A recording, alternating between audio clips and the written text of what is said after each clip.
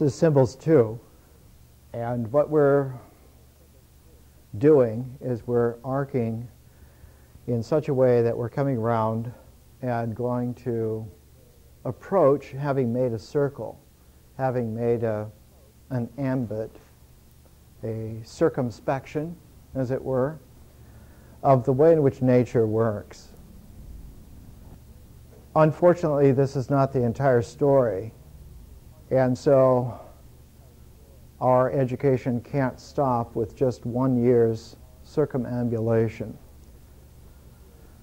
One of the most difficult things in a wisdom education, as opposed to an instruction, as opposed to a cultural tradition, is that you must be real and not just natural. And one of the qualities that's there in wisdom is that there is such a thing as going beyond. There is such a thing as supernatural or as transcendent. There is such a thing as magic, but not magic in a manipulative ritual way. There is such a phenomena as noumenon that the phenomenal basis, the existential basis of nature, extends all the way to our brain, all the way to our mind, and that the mind is a part of nature. It's a part of the integral way in which things occur, they have their career, they have their ecology of coming, emerging, coming into being, existing, um, decaying or being maintained, refurbished, and finally dying or disappearing. And that deciduous cycle of nature is well known and occurs apparently even on such large scales as civilizations. That in the past century, in the 20th century, one of the deeper inquiries by Arnold Toynbee, a study of history, was a study of, like a botanist would study plants or like a physicist would study uh, atoms, Toynbee studied civilizations. And he found that they are born, they live, they become mature and powerful, they become enfeebled, and they die. And one of the most um, surprising aspects of a study of history was the realization that all civilizations that have been made on this planet have died. And that the only one that was still viable, in a sense, was dying. And when that assessment was made in the late 30s and early 40s, uh, the world was indeed in a dark place. And the civilization that was dying at the time was facing a traumatic uh, crisis for which it was ill prepared. And since that time, several generations have gone by, and nothing has emerged to encourage the sense that things have changed. So this education is a preparation a model, a working model, to prepare a population who can develop things from scratch if need be, to transform whatever is needed as needed. And so this wisdom education doesn't just stop with the first year, but goes to a second year in which the natural cycle is not replaced, but complemented by a cycle of consciousness and just as there are seasons of nature, developmental phases in the natural ecology of integration, nature and ritual, myth and symbol, so too consciousness has its seasons, oddly enough. Not that consciousness changes so much, but the expressive expansion of its capacities continues to develop. So that the whole ecology of consciousness has a tone that we might call differentiation, that consciousness is differential. And this is an extremely difficult point to appreciate. Consciousness does not integrate. Nature integrates. Existentials integrate. Experience integrates. The mind integrates. But consciousness does not integrate. And we will find, to our great surprise next year, that in the art of person developing, a person also does not integrate. There are integral qualities. Most of the qualities that are used by a person are integrals, but they themselves do not integrate. No one ever found their person by integration alone. It doesn't happen. And it's not a function of limitations of culture. It just isn't in with, within the parameters of nature. It just doesn't happen. And so one of the deeper convictions in wisdom is that the person is a spirit, is a spirit in the sense that they are not in a naturally occurring variation range of water, but have come into a noumenal being because of a process of distillation. That if you take the juice of the grape from nature and you put it into a fermentation process, then you'll get wine. If you take that wine and you distill it, then you will get a liqueur. And it turns out that vision, consciousness, is a fermentation of the mind, and the person is a distillation of the entire natural ecology. And this is a very difficult thing to appreciate, but it is a range of wise understanding that our forebears always appreciated. And it's only in decadent times like our own that it's not a major part of our concern, of our education. It's like a dog walking outside senses there's a dog lying in here quietly listening and getting wise. And it barks out of jealousy.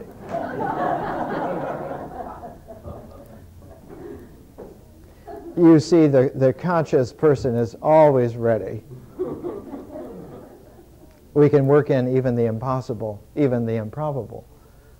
And one of the great triumphs of consciousness is when mathematics found that it could work rationally with irrational numbers, even with imaginary numbers, and not destroy the intelligibility of mathematics.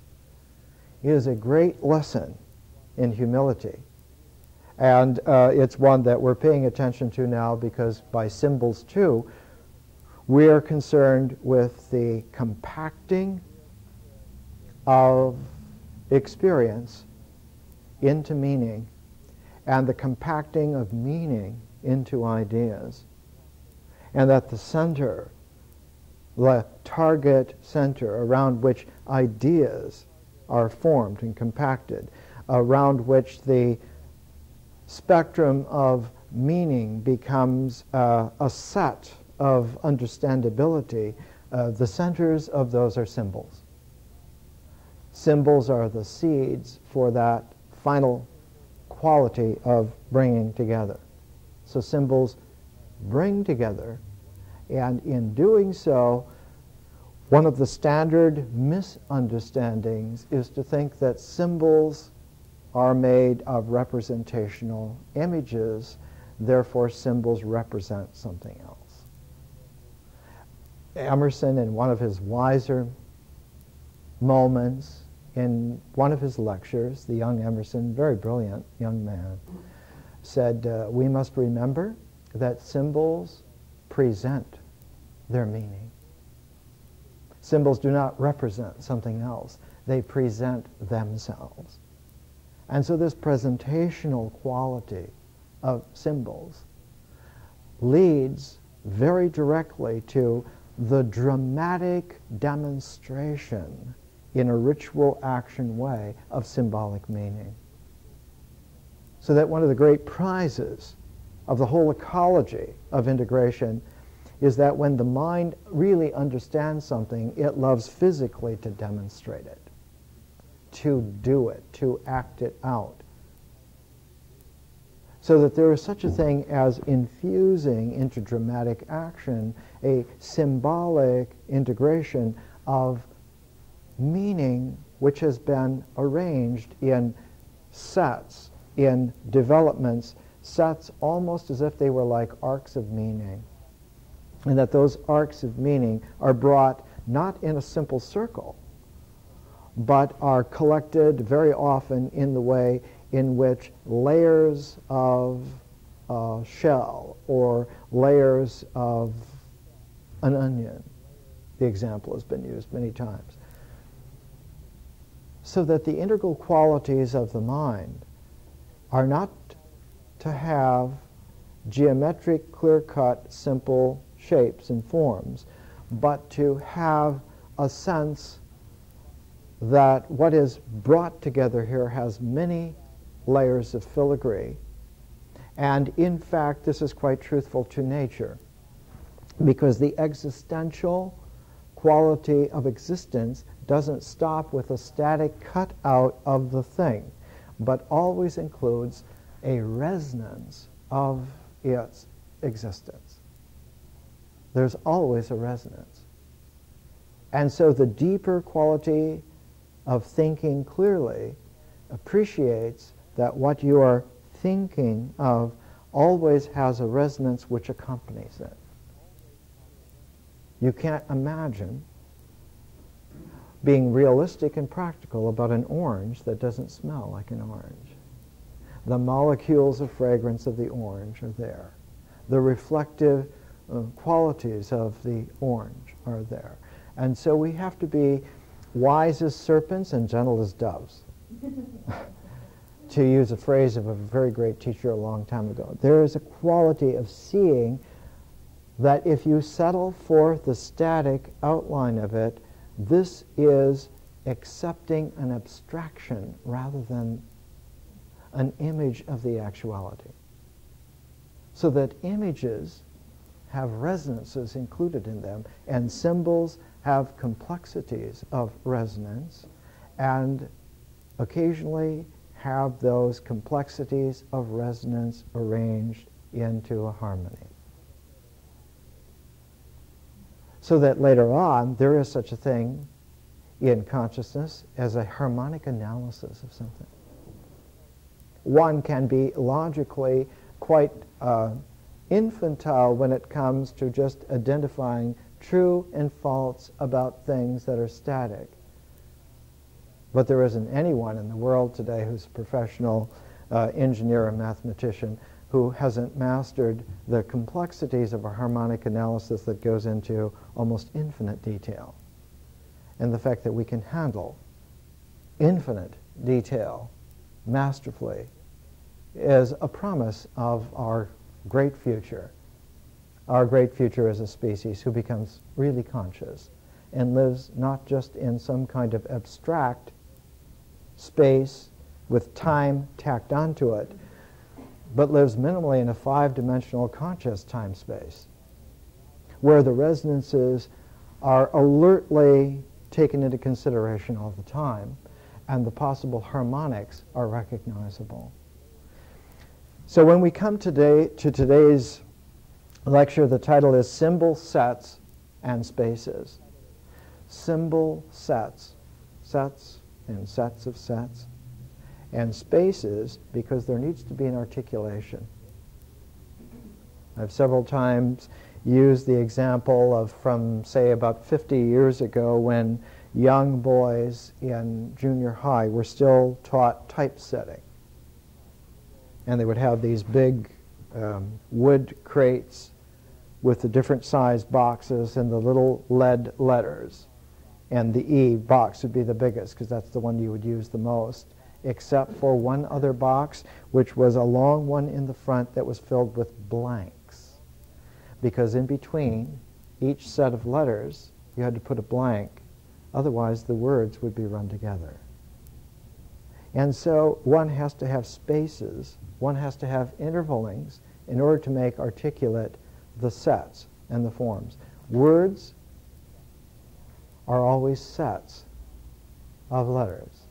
And one of the problems in symbols is that you're dealing now with written language, and articulation can be overlooked inadvertently through forgetfulness forgetting to be articulate by graphically distributing the spaces with the sets.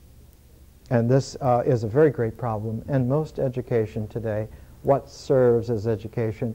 What could be derisively dismissed as mere schooling it does a great disservice because it's inculcated many generations now who have no idea that this is how you uh, must do things symbol sets and spaces, written language, and I want to bring into play here.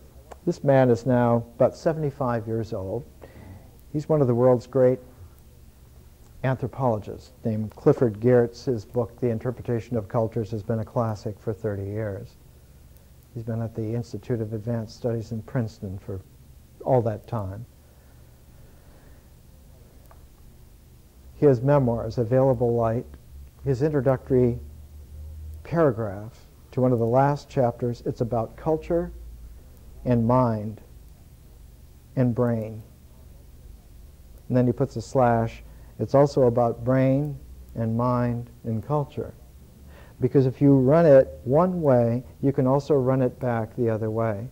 This is the way in which conscious reflection puts in a reversibility and makes a pair so that your line of development not only runs culture, mind, brain, but brain, mind, culture.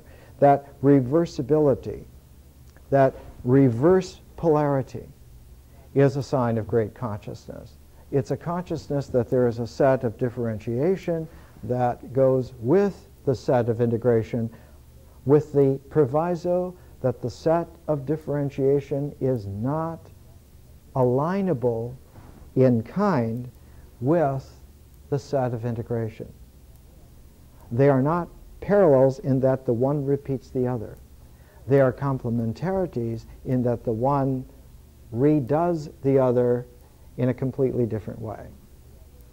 So that there was such a thing as the wisdom dance developed when men and women like ourselves matured far enough to go into civilization.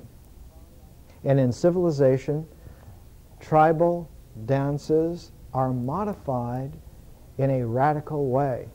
They no longer just follow the steps of the four seasons in a ritual way, in a mythic way, in a symbolic way, but civilized dances have specifically built into them a reversal of movement so that you have such a thing. Um, our term comes from the classical Greek because in our particular civilization that we're using, it was in the classical Greeks where the language terms were formulated first. The term in Greek is chorea, chorea and it means a process where you have a certain development to a space, and within that space you have a turn, and then you come out of that space and you go back the other way. So that in classical Greek poetry, like Greek tragedy, or Greek lyric genius like Pindar, you will have a dance form chorea put into language, written language, where you will have a strophe, then you will have a stand, and then you will have an antistrophe. And that you will have sets of this.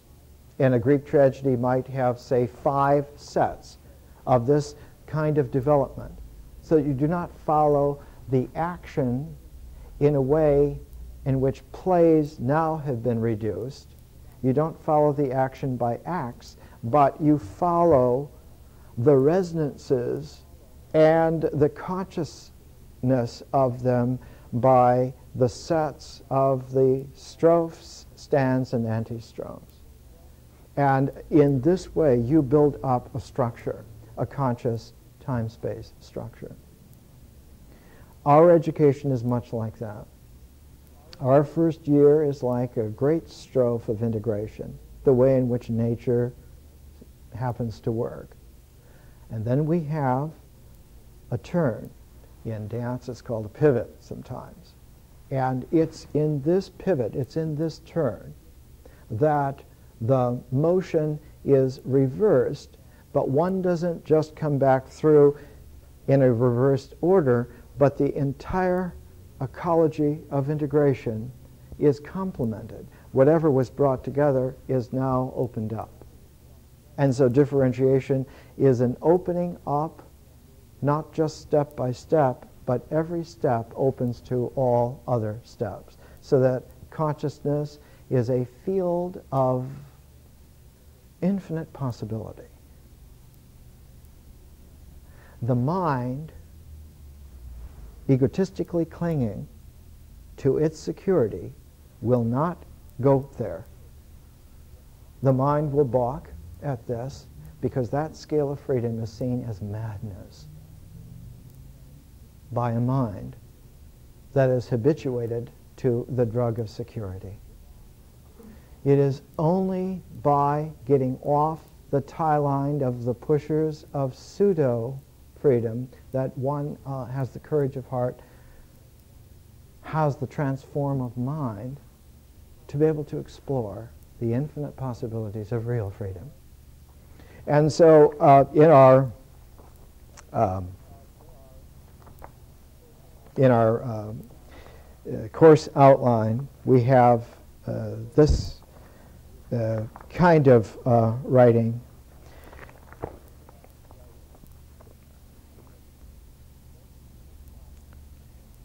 Myths give us models for acting out our lives. The mythic figure is an ideal of sorts for types and styles to emulate and appreciate or to reject and vitiate. Myths are timeless since the typology and even the plots are always similar, no matter when or where human culture obtains. The wicked stepmother, the wise old man, the beautiful princess, the animal helpers, ours all over the world. History gives us ideas for planning out our lives rather than being a mere model, an image, the idea is capable of generating a plan for action. Any acting would be a mere rehearsal towards improving performance in an actual life situation. History relates to life while myth relates to story. History develops a strategy for patterning life where myth sensitizes us to types of scenarios. To go beyond the scenarios into your own life is the achievement of historical consciousness. And so our education has this uh, quality. It has a quality where it leads to life and does not stay within the stories given. The storylines are sketches. They're not the whole story. The stories are not the whole story. Beyond the stories is the storyteller who can make up something new. And we're aiming for that. But one of the crucial triggers, one of the great snags in this process is written language, is the development of the objective capacity of the mind to make ideas. Is that capacity summed up in symbols. And how we use symbols is of great importance to us. And one of the most fundamentally freeing qualities is to realize that some symbols are so powerful that they not only organize experience and images, but they can also organize other symbols. And there is such a thing, after all, as a symbol, a grand symbol that organizes them all.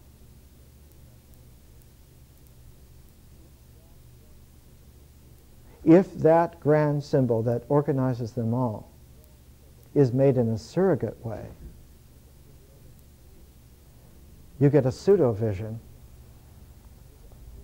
and you get a tyrannical integral form called the totalitarian world state, complete with its religion and its dictator.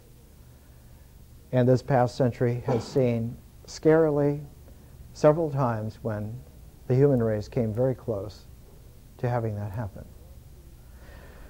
We're going to use uh, Clifford Geertz's opening statement to sort of position a humane understanding for a moment about this whole swath of sensitivity and possibility. And he writes, between them, this is 1990, uh, this is 2000 rather, between them, anthropology and psychology have chosen two of the more improbable objects around which to try to build a positive science culture and mind.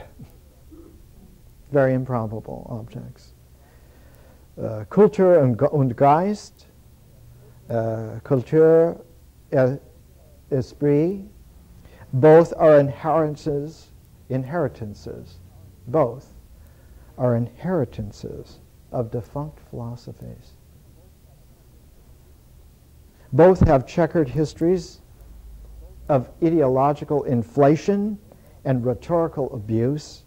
Both have broad and multiple everyday usages that interfere with any effort to stabilize their meaning or turn them into natural kinds. They have been repeatedly condemned as mystical or metaphysical, repeatedly banished from the disciplined precincts of serious inquiry, repeatedly refused to go away. And it is a, indeed a very sad situation to see. Having done this now for almost 40 years, that there's more ignorance today than there was 40 years ago about these kinds of concerns.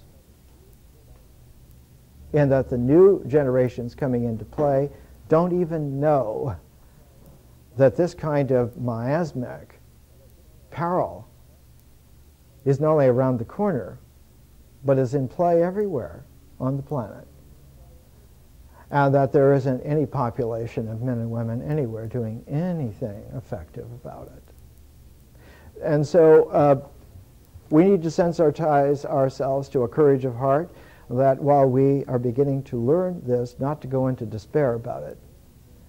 It literally is a matter of not only rolling up your sleeves, but of learning to roll up the false ideas in one's mind, the kind of mentality that parades itself as mind.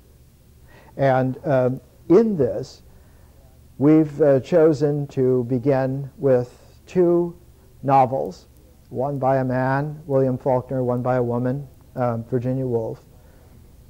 And the, both these novels come from about the same time period, as I Lay Dying uh, was written in uh, the early 30s, To the Lighthouse in the late 20s. They're both called, in terms of literary styles, stream of consciousness writing. The stream of consciousness uh, writing took its name because uh, two great epics of literature came out about the same time. Uh, Marcel Proust's Remembrance of Things Past à la recherche du temps perdu, and uh, James Joyce's Ulysses, both in 1922. And uh, from that period on, uh, for a number of years, this style of trying to present a stream of consciousness, a conscious space-time dimensionality was used. And of course, the great grandfather of all this was Henri Bergson and Henri Bergson's thinking about how time is not a thing nor is it a sequence of bits of thing, but that time is a flow which he called durée, duration. And since time is a duration, what occurs within that flow is like a concourse of resonances rather than a welter of points, so that you do not make something out of pasting points together or gluing points together, but there's a realization for the sculpting of the contour of resonances in a duration. And so the stream of consciousness writing was this way. And um, the two really great examples are Faulkner and Virginia Woolf. Here's an example of William Faulkner from As I Lay Dying. There's no narration other than the name of a character and the thoughts and feeling experiences and existential comportment of the character. Um, before that, there was a different character. So nowhere is there a narrator. There are just the characters presented. Where is the concourse? Where's the flow? Where's the duration? In the reader. The stream of consciousness is not in the book, it's in the reader. So that the act of reading this writing uses the reader as the symbolic way in which conscious visioning is taking place. So that the writer, using great art, has left themselves purposely out of the book in the sense of narrating. They have presented characters and the impressions, the sensibilities, the experiences, the mentality of the characters, but not themselves. So that the reader becomes the storyteller and um, not only integrates the story, but every time you read it, you integrate it in a somewhat different way so that the reader gains. It's like this were an engraving which is printed out against your own consciousness. So when it's called stream of consciousness, it's not that there's a conscious stream in the book. It's that the act of symbolic envisioning is happening in you, and it is you who become the artist. It is you who become the storyteller. It is your spirit that not integrates the meaning, but differentiates the meaning sets that have been presented here. Here's uh, Faulkner, um, As I Lay Dying, one of the most famous passages in world history. Poor white family, based on the mother, everyone dependent on the mother to do everything all the time for them. She's dying. The husband, Anse, uh, poor white southerner, doesn't know what to do. The kids are all falling apart. The youngest one, named Vardaman, just doesn't understand what's going on. He's only eight. This is from the character Tull, who's a neighbor who's driven his wife on a buckboard to come and help around the house. And he sees this man sitting on the stoop on the porch, stunned. He's not very intelligent. He's totally egotistical written in Faulkner's Southern uh, English. Anse keeps on rubbing his knees. His overalls are faded. On one knee, a serge patch cut out of a pair of Sunday pants, worn iron slick. No man mislikes it more than me, he says. A fellow's got to guess again, ahead now and then, I say. But come long and short, it won't be no harm done neither way. She'll want to get started right off, he says. It's far enough to Jefferson at best. But the roads is good now, I say. It's fixing to rain tonight, too. Well, his folks buries at New Hope, too, not three miles away. It's just like him to marry a woman born a day's hard ride away and have her die on him. He looks out over the land, rubbing his knees. No man mislikes it, he says. They'll get back in plenty of time, I say. I wouldn't worry none. It means three dollars, he says. Might be it won't be no need for them to rush back no ways, I say. I hope it. She's a going, he says. Her mind is set on it. It's a hard life on women, some women. I mind my mammy lived to be 70 and more, worked every day, rain or shine. Never a sick day since her last chap was born, until one day she kind of looked around her and then she went and taken that lace-trimmed nightgown she'd had for 45 years and never wore out of the chest and put it on and lay down on the bed and pulled the covers up and shut her eyes. You will all have to look out for Pa the best you can, she says. I'm tired. Anse rubs his hands on his knees. The Lord giveth, he says. We can hear Cash a hammering and sawing beyond the corner. It's true. Never a truer breath was ever breathed. The Lord giveth, I say. That boy comes up the hill. He's carrying a fish nigh long as he is. He slings it to the ground and grunts, ha, and spits over his shoulder like a man, darn non long as he is. What's that, I say, a hog? Where'd you get it? Down to the bridge, he says. He turns it over. The underside caked over with dust where it is wet. One eye coated over, humped under the dirt. I aim to show it to Ma, Vardaman says. He looks towards the door. We can hear the talking coming out on the draft. Car, uh, cash, too, knocking and hammering at the boards. He's building the coffin. There's company in there, he says. Just my folks, I say. They'd enjoy to see it, too. He says nothing, watching the door. Then he looks down at the fish laying in the dust. He turns it over with his foot and prods at the eye bump with his toe, gouging at it. Anse is looking out over the land. Vardaman looks at Anse's face, then at the door. He turns, going toward the corner of the house when Anse calls him without looking around. You clean that fish, Anse says. Vardaman stops. Why can't Dewey Dell clean it, he says. You clean that fish, Anse says. Oh, Pa, Vardaman says. You clean it, Anse says. He don't look around. Vardaman comes back and picks up the fish, slides out of his hands, smearing wet dirt onto him, and flops down, dirtying itself again, gape-mouthed, goggle-eyed, hiding in the dust like it was ashamed of being dead, like it was in a hurry to get back hid again. Vardaman cusses it. He cusses it like a grown man, standing astraddle of it. Anse don't look around. Vardaman picks it up again. He goes on around the house, toting it in both arms, like an armful of wood, it overlapping him on both ends, head and tail, darn nigh big as he is. Anse's wrists dangle out from his sleeves. I never see him with a shirt on that looked like it was his in all my life. They all look like Jewel might have given him old ones. Not Jewel, though. He's long-armed, even if he is spindly.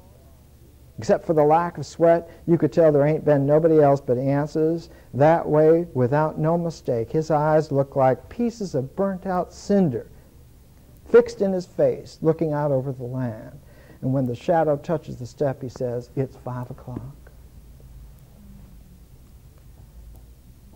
There's a tone here that myth doesn't have. It is a symbol laden work of literature. And when someone conscious reads it, it's great art. But the book itself is a written symbolic language that is radically different from myth. When we take a break, we'll come back and look at that again. Let's come back from our break. Let's come back from Faulkner. From Faulkner's prose, let's come to Virginia Woolf's prose. And here is again stream of consciousness, this time Virginia Woolf. It's a young son, James, who's happily with his mother, Mrs. Ramsay, who creates life for everyone. And she has said, um, perhaps we'll go to the lighthouse uh, tomorrow.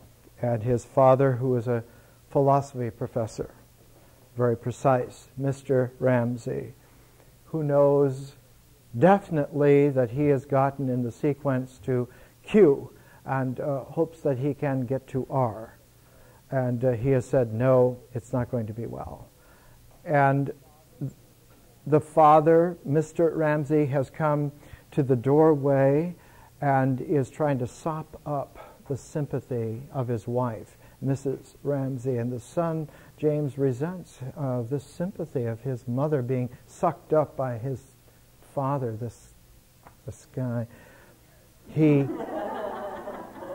he hated him for the exaltation and sublimity of his gestures, for the magnificence of his head, for his exactness and egotism, for there he stood, commanding them to attend to him. But most of all, he hated the twang and twitter of his father's emotion, which vibrating round them disturbed the perfect simplicity and good sense of his relations with his mother. By looking fixedly at the page, he hoped to make him move on. By pointing his finger at a word, he hoped to recall his mother's attention, which he knew angrily wavered instantly. His father stopped but no, nothing would make Mr. Ramsay move on. There he stood, demanding sympathy. Mrs. Ramsay, who had been sitting loosely, folding her son in her arm, braced herself and, half turning, seemed to raise herself with an effort and at once to pour erect into the air a rain of energy a column of spray, looking at the same time animated and alive as if all her energies were being fused into force, burning and illuminating, quietly though she sat, taking up her stocking again, and in this delicious fecundity, this fountain and spray of life, the fatal sterility of the male plunged itself like a beak of brass, barren and bare. He wanted sympathy. He was a failure, he said. Mrs. Ramsay flashed her needles. Mr. Ramsay repeated, never taking his eyes from her face, that he was a failure she blew the words back at him. Uh, Charles Tansley, she said, but he must have more than that.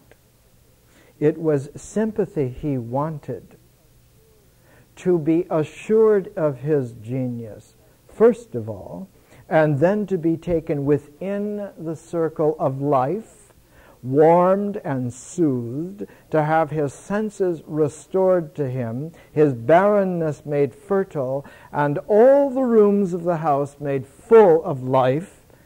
The drawing room, behind the drawing room, the kitchen, above the kitchen, the bedrooms, and beyond them, the nurseries, they must be furnished, they must be filled with life. Charles Tansley thought him the greatest metaphysician of the time, she said. But he must have more than that. He must have sympathy. He must be assured that he too lived in the heart of life, was needed, not only here, but all over the world. Mrs. Ramsay sets aglow everything because of her life giving energy because the resonances of her person, of her body, she's beautiful. She's growing older, she's still beautiful. She has the physical resonance of a beautiful woman. She has the mind resonance of a comprehensive symbol. She has the spiritual reson- resonance of this prismatic person. And In contrast to her, Mr. Ramsay is needing infusions of her energy all the time to pinch him awake back into life. Why? Because he lives in an abstracted realm where he is out of contact with nature. One of the perils, and we haven't gone into the pathology of symbols much, but one of the pernicious perils of the mind is that it can be abstracted, abstracted away, abstracted away not only from nature, but because of the mysterious way that existence emerges from nature. When one is abstracted from nature, one is also abstracted from existence, and so you have to prove existence to yourself. You don't have any sense for it. You don't have any sensory certainty, and so one has to check. One has to have the specs.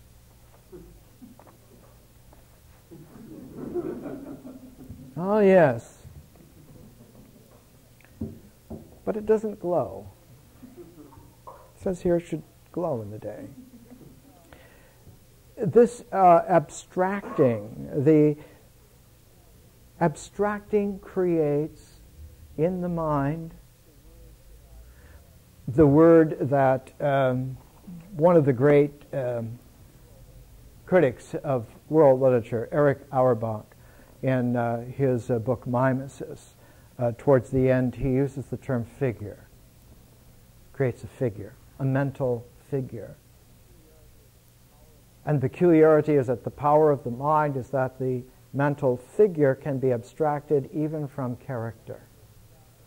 So that one can be abstracted not only from nature and from ritual ritual comportment, the actions of existence, one can be abstracted from feeling. One can be extracted in such a way that the abstraction extracts you from the feeling tone quality of experience and even abstracts you from the mythic narrative threads uh, that create the fibers that allow for experience to gel together so that one can be abstracted in such a way that you don't know where you are. And such an abstracted position then needs to have its diagrams, needs to have its geometricities, with which it's constantly stamping not only oneself but other people. the cookie cutters of certainty. And everyone and everything is but fodder for your activity of checking to see if they're, if they're real. This whole abstraction, the abstraction figure, has a symbolic idea, it's called the icon. The icon. And there is such a thing as iconology, iconography, the study of the icon, not an image, a symbol. And this entire entourage, this entire ecology of the icon involves subsidiary ideas that are also very powerful in and of themselves the mosaic, the putting of pieces together so that it gives the appearance of an image, the appearance of a form, mosaics, of embedding jewels within those mosaics to embellish the icon. All of these qualities are difficult to appreciate. And so, years ago, decades ago actually, I came up with a very simple exercise that helps illumine this entire thing, and that is to make a pair of symbols. It's a primordial activity, and it's effective. And so, I would like all of you to make a pair of symbols. One of the symbols the name for it is an amulet. The other symbol, the name for it is a talisman. And what an amulet does is protect. It seals. It protects you. It seals you. It seals meaning into a traditional experience in such a way that that sealing withstands the ability of any other minds of encroaching on you. An amulet seals you, uh, especially protects your meaning, your integration against others who could threaten you. Especially others who are stronger than you, more powerful than you, in the sense that they have uh, more developed powers of integration. And so an amulet is a way of protecting yourself against their powers and not just other people, but other orders of mental objects which can seem to have a life of their own, which could, which could also encroach. Whereas a talisman is different. It's to be used for exploring. It's a tool for opening up possibilities. It's something to take with you on an exploration. It's a differential symbol. And a talisman carries within it a transform. Whereas an amulet seals and doesn't allow for uh, transforms to happen. It seals and protects and keeps it the way that it is.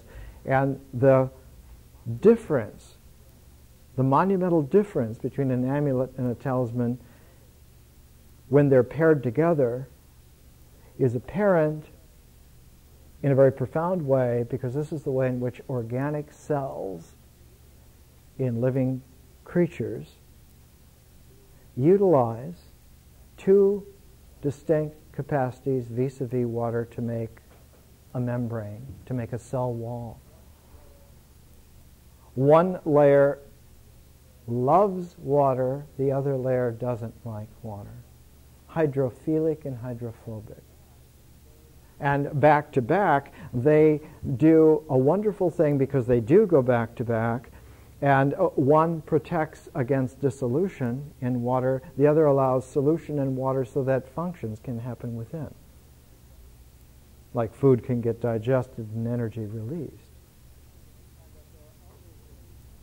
And that there are always thresholds through this membrane, through this cell wall and those thresholds, largely in uh, cells like our cells, the membranes between the cells, are ionic channels of elements like sodium or potassium, so that you will have an atom of sodium ionized embedded into the membrane of the tissue and it allows for electrical impulses to go back and forth, allows for bodily functions to happen. So, in a way, something like sodium, when paired with a very deadly gas called uh, uh, chlorine, when sodium atom and a, a chlorine atom are brought together, it will make salt, not just table salt, but that whole formula becomes a formula for many kinds of salts, so there's a whole range of chemistry and salts. They have a lot to do with transforms and transformation. One looks at old alchemical literature and you think that uh, mercury is the transformation, it's salt. There are hidden understandings that are there in the structure of things in a wisdom way that are so misunderstood and passed on as if this were traditional learning that the ignorance is absurd. And that people are not only, um, as Krishnamurti once said, he uh, said, I'm appalled that my countrymen are not only getting, gaining disciples by the millions, but that they're collecting shekels. For what? For parading ignorance on a vast scale. The issue is not to make a point where there's a single understanding where one can come to a judgment and that this is what this means. This is what he's talking about. This is what we're to understand. It's not that at all. There's no understanding in that way of approaching. None whatsoever. So we're doing a classic circumambulation. We're scouting all the possibilities and all the resonances together, and we're allowing for the play of this to include us rather than waiting for some bureaucratic structure to tell us what we need to get through the day. And it's not just that play and bureaucracy are a polarity, they're a disjunctive polarity. They never touch, they never meet. And our condition in the mystery of nature, as we're still emerging as children, is to play. Babies hardly ever ask you who's in charge of the food. They want to eat. And they usually play with the food. So that play is a, is a quality of mind that is essential, and bureaucracy is a regressive uh, formulation. That we're convinced that society needs a bureaucratic structure to carry on its social functions is a sign of psychosis. It's psychotic to believe that. And uh, as a species, we're endangered by that particular misunderstanding. Symbol sets and spaces. The amulet and the talisman, when they're paired together as a set, will give us a window, an approach to understanding how the transform works, why symbols transform if you look at an equation, an equation is an amulet as long as it stays as an equation. E equals mc squared. You may not be able to follow all of the meaning of it, but enough so that you can appreciate that. That equation, as it stands, symbolically, as a written symbol, has an amulet quality. But the hidden power within it its transform is that it's not just an amulet protecting and sealing that meaning, but it can be applied. And one can apply it and you can get atomic energy out of it. The first time that that was discussed in a really profound, intelligent way, an Italian. His name was Enrico Fermi. And he contacted a man who could really think, had an A plus mind. His name was Franklin Delano Roosevelt. And he said, it can be done. You can open up this equation in such a practical way that you can create atomic fission. You can create an atomic bomb. You can create atomic energy. Uh, Fermi, because of his great humanity, wanted atomic energy. In fact, the world's uh, uh, first great atomic uh, pile outside of Chicago, the, the Enrico Fermi reactor. And when it was dedicated, it was a big thing at the time. This quality of turning a symbol into its talismanic quality means letting the channel of transform operate. And so we're building in such a way that our definitions of understanding and of form and of ideas are not sealing them off, but are membranes that will later on allow for transforms to be carried through. And this is very important. It gives you an organic structure.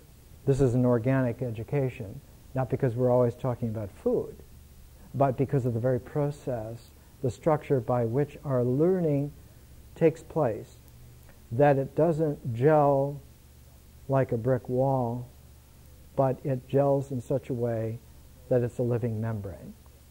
And well, uh, it keeps form. One of the ossifying tendencies is to not use abstraction as a tool and let it run away with you, and to live in an abstracted world. Um,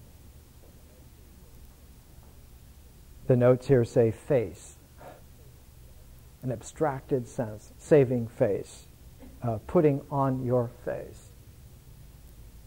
That face is an amulet. I remember once uh, in the early 70s in Canada using a, an R. Crumb cartoon. It was called Getting to Know You.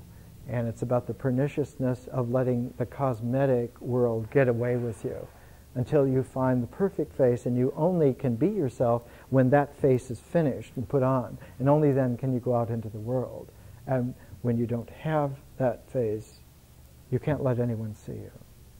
They might discover something about you that you don't know yourself, and woe unto you. This quality also shows up in nether parts on the backside of people, saving that and uh, protecting that. Uh, the notes here say that this quality of abstract figural self means that thought can get cut off. And the odd thing is that thought, because it's a higher power of integration, when thought is cut off, it has the power to reach back and cut feeling off. And thought, when it gains the strength to cut feeling off, becomes even more powerful, and its abstracted projective power can even cut um, the sense of sensation off. There is such a thing as an existential alienation, not just where you feel alienated, but where your body is alienated. Your body no longer has any touch with nature. A zombie. So that one needs a surrogate life, a surrogate energy to bring this alienated body, this um, uh, egotistically cut off feeling, this abstracted mind back into some semblance of play. And there are plenty of drugs, plenty of adjunct applications of technology. The industry is huge to do this. Uh, one of the uh, worst uh, drugs in this is um, is the idea that um, schooling, as it is generally practiced, uh, teaches us. It generally supports a surrogate uh, sense of self and world and uh, does more damage than anything. Out of this, the term abstract figure, or just figure with the understanding of abstractness. Why would someone, as learned as Erich Auerbach and his mimesis, talk about um, figure? Uh, he says, at the end of his book, that it is a term that comes into play in late antiquity and in the Middle Ages. In fact, he wrote a, a volume called The Literary Public the literary language and its public in late Latin antiquity and in the Middle Ages. He was a specialist in this. Why then? Why there? Because in late Latin antiquity, where is this? This is about 17, 1800 years ago. In the times of the Roman Empire getting its heyday, why would a literary language have such a potent force at that time because at that time was the first time that there was a sense of some mentality, some abstracted mental configuration, figures put into an order, like an ideological order. where that written language carrying that impress was projected out to what seemed like the whole world at the time for the first time. Now, there were occasions where there were empires before the Roman Empire, but the Roman Empire at that time is the classic case of how this happens because it's documented so fully, because we still live within its uh, further resonances. It's still there. China had its dynastic empire just as strong as the Romans. But the development of our particular civilization never felt the full impress. It will in the 21st century. And we have yet to deal with the grandeur of uh, an imperial Chinese um, tradition, just as strong as the Romans. But in this sense, there's a quotation that um, Auerbach puts in here. It's a quotation from a Roman writer named Juvenal. Juvenal was a great satirist who wrote in the early empire days. The quotation is But where in the days of old Metellus could you find a Cantabrian Stoic? Where could you find somebody in Spain who would be a Stoic? Now the whole globe possesses Greek and Roman culture. Eloquent Gaul has trained Britons as lawyers, and in Thule they're already talking about engaging a professor of rhetoric. So at this whole scale, he uh, quotes uh, Horace and uh, a great poet of the Augustan uh, Principate, the early days of the Roman Empire, saying that his works can be bought everywhere in the world projected out until it became not just a culture, but broadcast on the level of a civilization. This quality can only be done through symbols. It's only through a the power of a mentality that has a written language that can carry a meaning on this scale and make it so indelible that it stays in individuals generation after generation, century after century. It has a somewhat different tone from a tribal tradition. A tribal tradition will always go back to nature. If one matures in a tribal way, there's always such a thing as going on your first hunt I remember because I came from a pioneer American family of being told at 12 you have to learn to shoot. And I can remember being a sensitive boy, you mean I have to kill something? Yes, to learn to kill with a gun, to learn to hunt.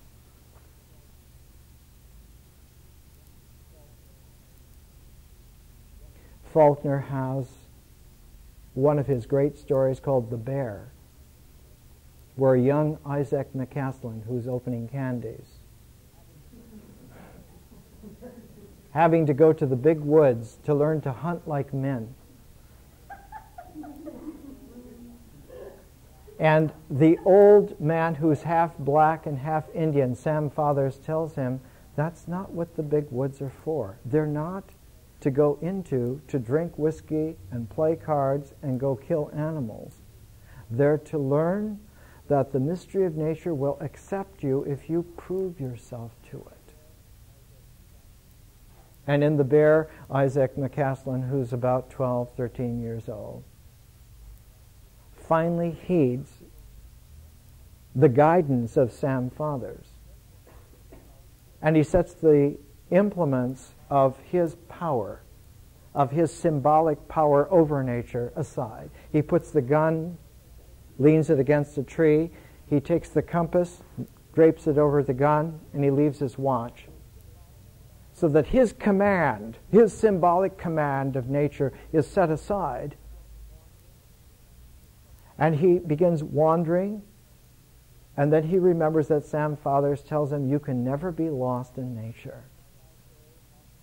that if you make a sashay off to the left and come back to where you started, and then make a sashay off to the right and come back where you started, and you keep increasing those sashays.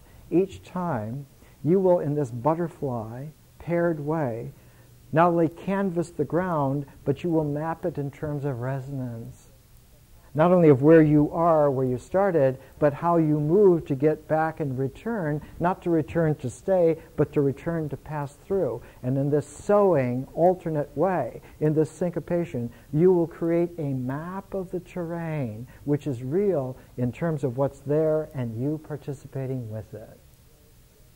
It will be mapped in such a way that your symbol of it will be a living reality and you will be included in the mystery of nature. So he begins doing this, and that's when he sees the track of the old bear, the biggest animal in the woods, the old bear that no one's been able to kill. Legendary bear. Has a foot that got caught in a trap, so it has a little bit of a, of a crinkle in it, and he sees this impress in the mud. And he sees the water filling the track, and he realizes the bear has just been there. And he comes into this clearing. And as soon as he comes into the clearing, the bear is there looking at him. And for a moment, the veil of civilized fright petrifies him until it fades because he doesn't have the powers to do anything about it. As that fades, the fear fades away, and he realizes the bear is not an enemy that the bear is the biggest guide of all. And he says, Faulkner writes, he says, the bear looked at him and included him, and then didn't turn and go, but faded back into the big woods as if it were a mysterious huge fish in an old pond that gently subsides and leaves instead the feeling that one is included. One has become a part of the big woods not to come and drink whiskey and play cards and play at killing animals, but that one has learned to become real in the mystery of nature. And that the symbols that come out of that are not symbols that are in the mind, but symbols that inhabit the mind in such a way they can transform out of it. They can gain wings of understanding and vision and carry you beyond where you were in your limitedness and have access to the adventure of the unlimited. That unlimited, which is so vast that all of the known is itself but a mosaic speck.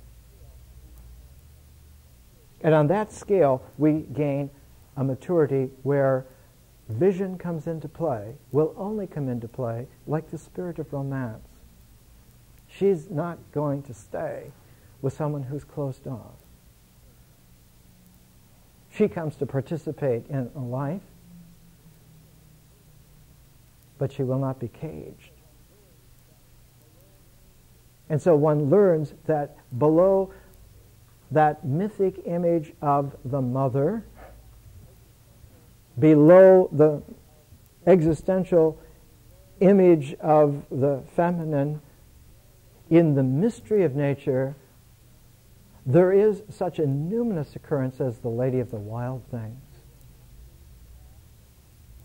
who will not be bagged on any level whatsoever in the integral.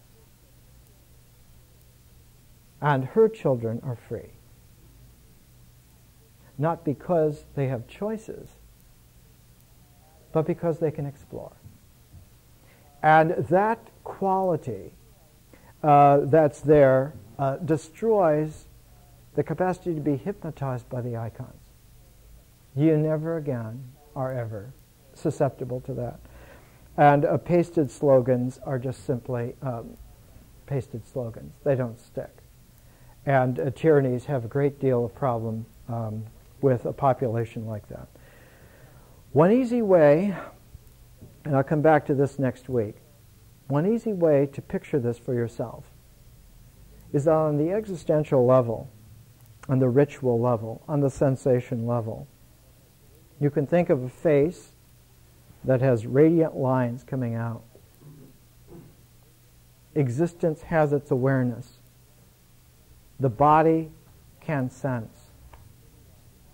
You can walk blind for just a little while and begin to sense. You can get yourself. I once practiced running through the western Sierras at night uh, without any moonlight at all, and I could always uh, find my way. It took several years to do that, but you can gain that facility. The body can know where it is. A diver on a high board who has to do a triple somersault and hit the water just right, he doesn't need a slide rule to triangulate one gains that facility. So that the body has an awareness which has its own existential wisdom about it. And that body awareness, that energy like that, in myth, in sentience, in intelligent feeling, gains its uh, resonances. Like a bell struck the sound is bell shaped. If one could, in a moment, follow a particle of the nitrogen or oxygen, it would uh, carry the arc of that bell shape with the sound wave. So that the resonance of something physical, the body has its own resonances in experience. And language is born there because language carries the energy frequency of the resonance of things. So that the images are not pictures of something else, the images are the resonant matrix itself. There's such a thing as the living image. And when those living images are interiorized, in a natural way, they produce living symbols. Not symbols which are pasted slogans in a mentality, but living symbols which carry with them that symbolic capacity, not only to be amulets of the true, but to carry transforms also back into the world so that a living symbol can transform you can change the world. It's malleable. It will go into any shape, given the right uh, technique.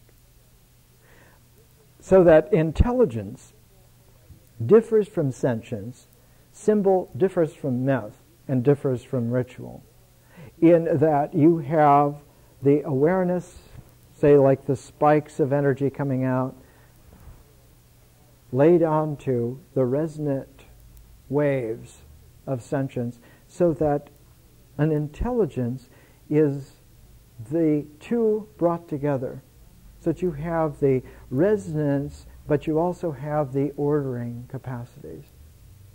So that sensation and feeling are brought together, are knit together in a way that intelligence has the ability to think, not just abstractly, but to use abstraction as a tool to think for real, to integrate for real. And the mind is extremely powerful, is capable of doing this to any degree of exactness. Each of us has a mind that has that potential and that capacity. One can bring integration completely to um, of fullness. So that the mind at that profundity is the only place in the universe where rest occurs. Where complete rest occurs. A peace that clearly exceeds understanding. But that rest is not a death, it's a portal, it's a threshold of carrying a very great transform. And out of that transform comes consciousness. And consciousness, as we will see, it will take us about six months to go through this patiently. consciousness is a transformed mind. It's not the same as thought at all. And to mistake that is simply to be uneducated. And just because almost everyone one meets uh, is convinced of that, is no need to uh, stop there. Let's come back and let me finish by coming back to Faulkner for just a moment. I want to carry um, this quality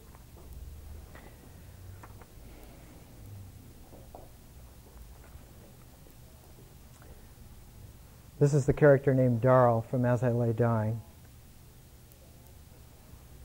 Pa stands beside the bed. From behind his leg, Vardaman peers, with his round head and his eyes round, his mouth beginning to open. She looks at Pa. All her failing life appears to drain into her eyes, urgent, irremediable. Jewels she wants, Dewey Dell says. Why, Addie, Paul says, him and Darl went to make one more load. They thought there was time, that you would wait for them, and that three dollars and all.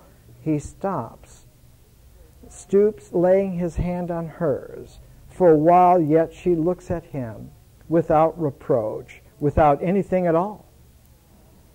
As if her eyes alone are listening to the irrevocable cessation of his voice. Then she raises herself who has not moved in 10 days. Dewey Dell leans down, trying to press her back. Ma, she says, Ma, she is looking out the window at Cash, stooping steadily at the board in the failing light, laboring on toward darkness and into it as though the stroking of the saw illumined its own motion. Board and saw engendered. You, Cash, she shouts, her voice harsh, strong, and unimpaired. You, Cash, he looks up at the gaunt face framed by the window in the twilight. It is a composite picture of all time since he was a child. He drops the saw and lifts the board for her to see, watching the window in which the face has not moved. He drags a second plank into juxtaposition, slants the two of them into their final juxtaposition, gesturing toward the ones yet on the ground, shaping with his empty hand in pantomime the finished box. For a while still, she looks down at him from the composite picture, neither with censure nor approbation. Then the face disappears. She lies back and turns her head without so much as glancing at Pa. She looks at Vardaman, her eyes, the life in them, rushing suddenly upon them. The two flames glare up for a steady instant, then they go out as though someone had leaned down and blown upon them. Ma, Dewey Dell says, Ma, leaning above the bed, her hands lifted a little, the fan still moving as it has for ten days, and she begins to keen. Her voice is young, strong, tremulous, and clear, wrapped with its own timbre and volume, the fan still moving steadily up and down, whispering the useless air. And she flings herself across Addie Bundren's knees, clutching her, shaking her with the furious strength of the young, before sprawling suddenly across the handful of rotten bones that Addie Bundren left.